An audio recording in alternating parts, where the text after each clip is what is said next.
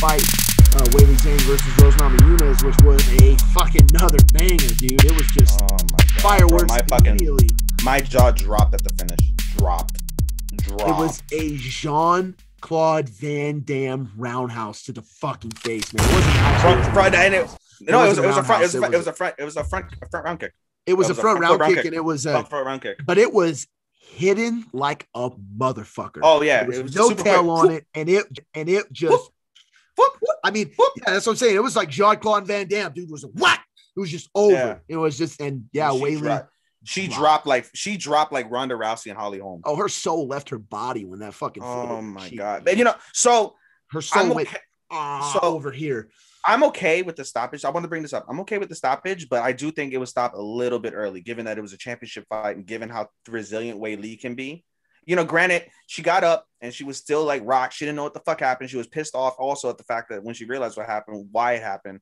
And I think that they should have given them a little bit more. I think she should have given Weili a little bit more of a chance. I'm not bitching about it though. I just think personally it should have gone on a little bit longer. What do you think?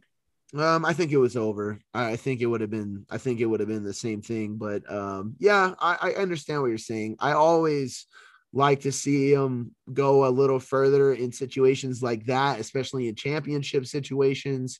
And then you have Herb Dean. I fucking let that shit happen in the main event, but you know. right, right. I mean, Well, you know, there was a lot. There was a lot of um, that that you know we'll get to that in a minute. But you know, Mhm. uh, Rose, yeah, man, she you know, fucking Trevor Wittman, they fucking just you know they they had Weili and uh, she caught her with that kick and it was so good. Man. You know, I mean, it sounds like they're gonna do um a rematch. Um, is what so I don't what- think is what I heard.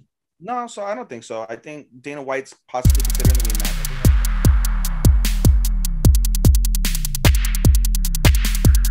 Well, uh, thanks for watching.